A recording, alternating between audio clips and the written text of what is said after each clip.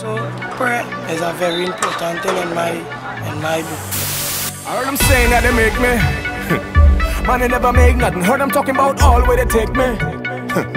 But it really ain't nothing. All I do is press a button and now I'ma make it happen. Tryna run a race with me. You see just how I lap 'em and they tryna be me. But can't see what they lacking and they can't impress me with talk or no action. Cause that talk that they talk is just talk. Wasn't with me when I was pounding sidewalks. Cause when you ask them what they bring to the table, all they bring to the table is the night.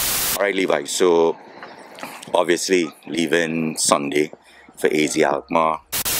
But I think one of the things that would be helpful is for a lot of guys to know what it is like to be on trial. So let, let's let's talk about, for instance, uh, the first day you arrived in Holland, right? So you arrived. What what what day did you actually fly into Holland? Well, I arrived on a Sunday.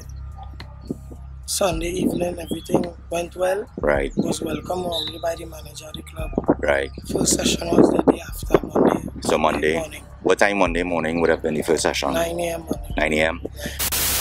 So, in that first session, I mean, obviously, describe your feelings. I mean, nervous or what was your feeling when, when, when you when you touched down on that in that facility, uh, first session, First session, confident but a little bit nervous. right? Wanting to know what kind of players, what it would have been like. Right. Yeah, it was just everything was nice. Right. So what what sort so that that 9 a.m. session, right? Yeah. What sort of things did they they do on that first day? What was that first session like? First session was like a lot of drill work, ball work, Right. through the cones, ladders, Right. for to see um, see everything, and Right. they did some ball work finishing, Right. and then a game. So they wanted to see scale. So you did a, a full 11 v 11 game. yeah, full 11. All right.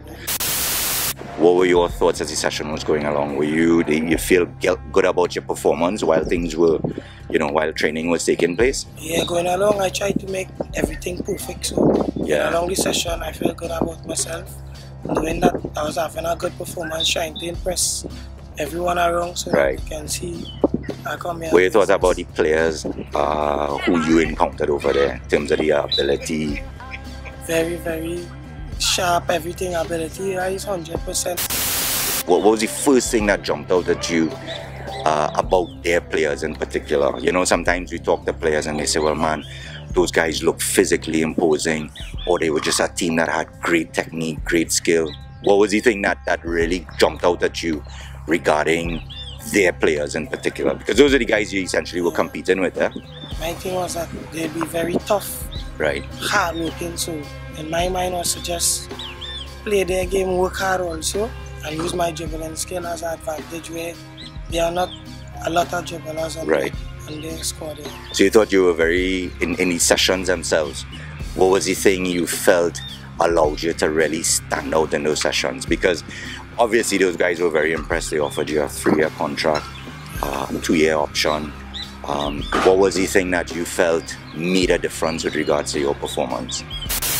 the dribbling skill because most most of the sessions the coaches were like just show us what you can do skill skill skill so I could have seen that they wanted a skilled player so Right. I showed them what I have also the finishing they love to see a player that can dribble and score so Right. yeah When you went over there, where did you where where did you have where did they set you up? In other words, what was your position on the field? What, what were they looking for uh, in terms of your position? Where did they line you up on you know left striker they're looking for a left striker because they're hardly left footers Right. squad so they needed a left striker All right. Levi, saw a lot of guys, obviously in Trinidad and Tobago, uh, dream of one day having the opportunity to go out to Europe and play at that level. It's not something that happens every day. Uh, as a youngster, so so at nine, ten years old, is this something that, that, that you always knew you wanted to do? yes of course maybe at the age of 9 10 I used to just go in a zone Right, call it that and just see myself playing on TV, right. making everyone cheering for me. So has been a goal for me to make it out. So it was an amazing Every day, after being on the field training and sometimes by myself, What is the thing you think that keeps back guys in Trinidad from really getting to that next level? the, the hard work and also prayer is a very important thing in my because through prayer and through Jesus, everything is possible. And I think a lot more players need to believe. Right. So they work hard and yet still they don't make it. But we need to work hard with the prayer so the combination makes it in a way that you'll surely make it. Yeah, so that spirituality is important.